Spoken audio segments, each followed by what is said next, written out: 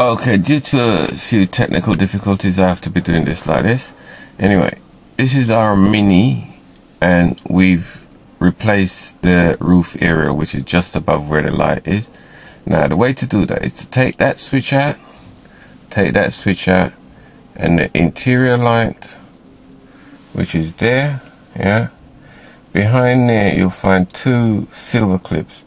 Push them forward towards the front of the car and that will pop down yeah? Once that's popped down you unplug it. And if you look straight up you will see the nut that actually holds the aerial on. If you undo that nut the aerial will pop out.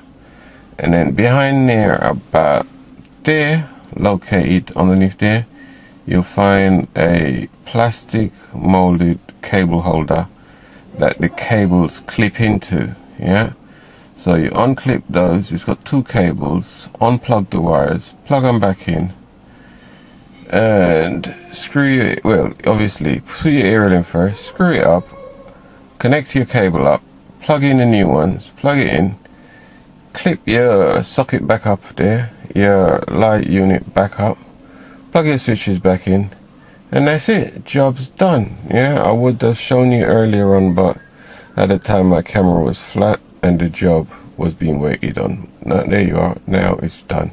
Okay? It's that simple. Just, I'll repeat that.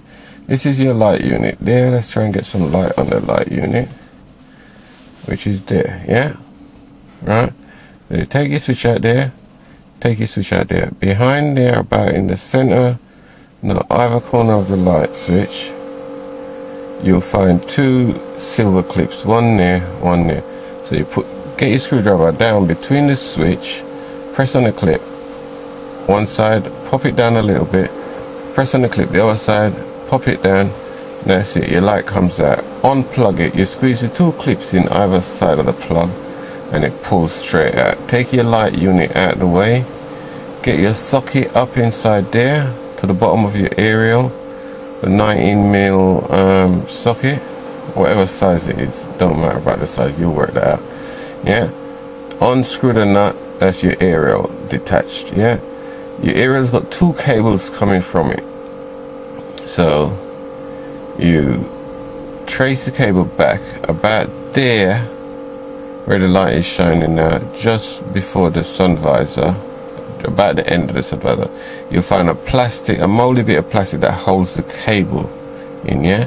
Just pop the cable out of the holder pull it towards you a little bit unplug both, plug in the new ones, tighten your nut up, push your light unit back up, push your switches back in, and that's it, your aerial's fitted. Okay, good luck. I hope it works for you, but I should have done it while it was out, but there you go, never mind.